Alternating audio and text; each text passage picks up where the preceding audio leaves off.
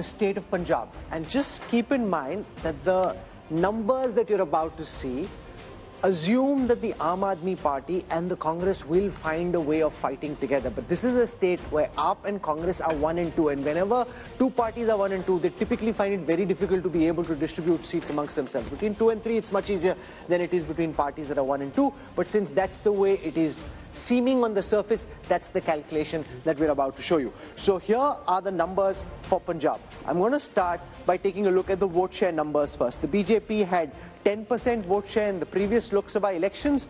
That's now projected to go up to 17. Uh, that's 7% up.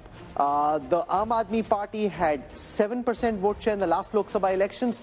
That's now projected to go up to 27. That's 20% up from the last time.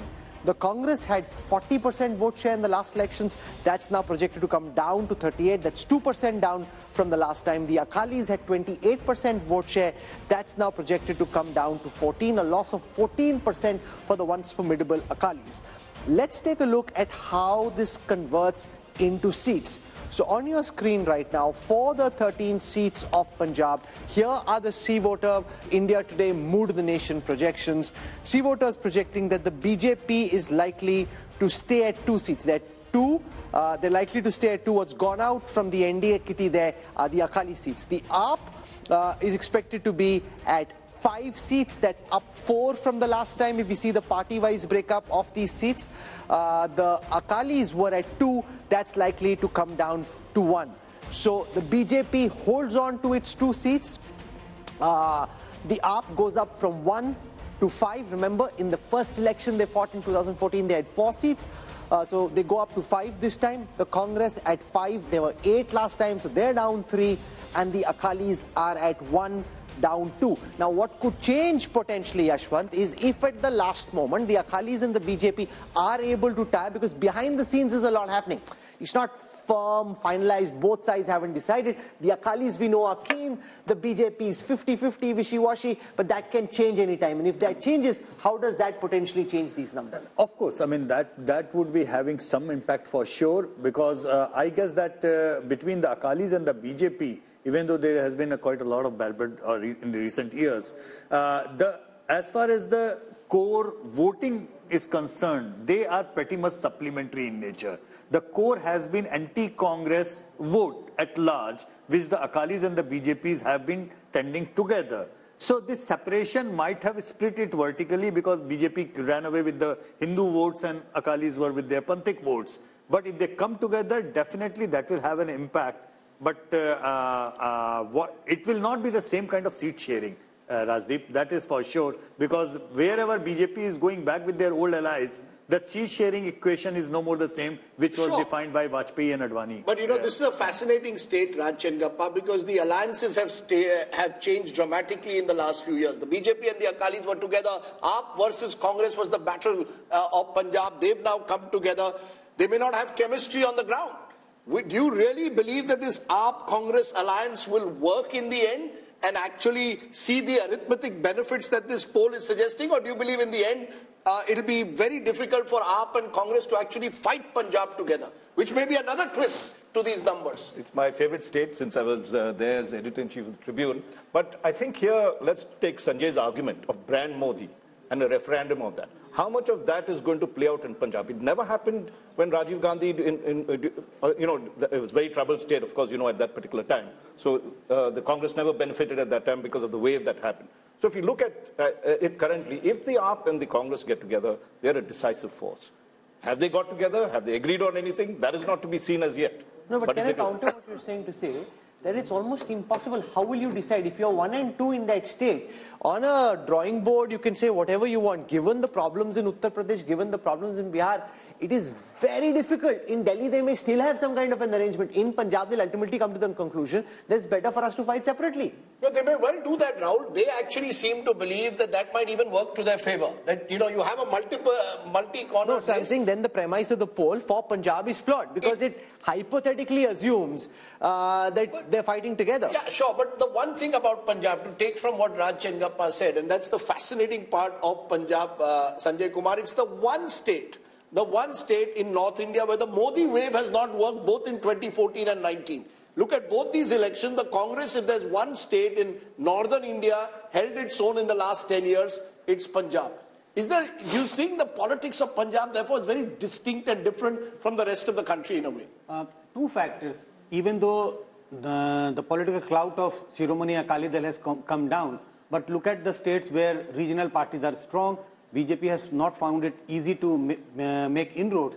That's one case why in Punjab BJP has not been able to make inroads. Second, BJP has been contesting in Punjab in alliance with Akalis. So Akalis have been a dominant player. That was a difficulty in the Bihar also for the first couple of decades. Also, look at the social composition of Punjab. In Punjab, we have a very large majority of Sikh voters.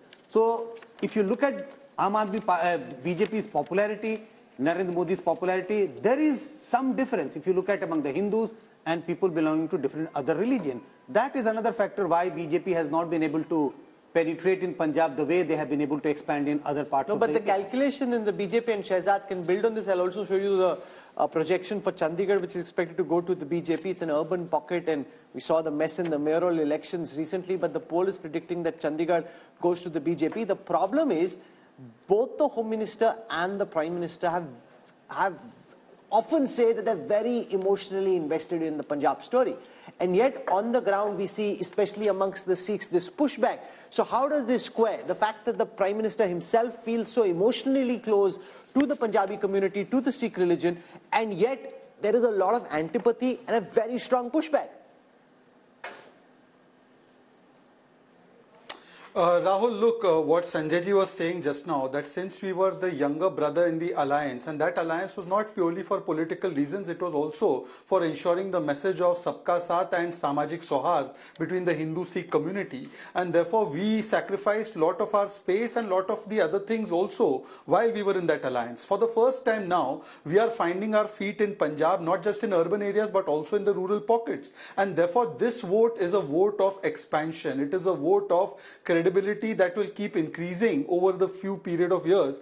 And look at the outreach that Prime Minister Modi has done towards the Sikh community. It is not a political outreach, it is an emotional outreach, whether it is celebrating the Prakash Parbs of the great gurus of the Sikh community, whether it is celebrating Veer Balas Divas, or whether it is reaching out to various sections, whether it is the FCRA clearance on Harmandir Sahib, langars that we are uh, making GST free. So I think there's a concerted effort. Not everything is done only for political purpose. Some things are beyond politics. For Rashtra we have done lot of things, and I think that is also being reflected because Punjabis are very patriotic people. They will, they are ready to sacrifice their lives for the nation. They have contributed so much to the armed forces, and I think you will develop, you'll see because the kind of mismanagement Aam Aadmi Party is doing. Look at the Nasha Mafia. Look at the kind of corruption that is taking place. And I'm not saying this. Mr. Sidhu is saying about the corruption, and also the alliance Now, the between Congress and here in Punjab, it is an Amitabh Tiwari, is if they fight separately, this calculation, and you're seeing the India numbers projected by CVoter to zoom up in terms of vote share very substantially,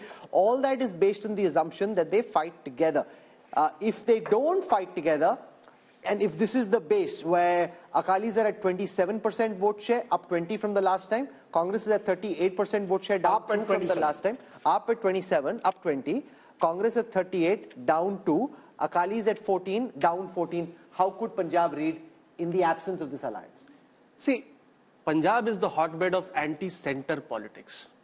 So even if AAP and Congress do not form an alliance, and unless the, sub, the Ak- Ak- Akali Dal forms an alliance with the BJP, these numbers could still hold. So unless the Akali Dal ties up with the BJP, I don't see a substantial difference in the numbers because the politics itself there is anti-center. Hindu being the majority in the rest of the country, but being a minority there complicates the political dynamics there.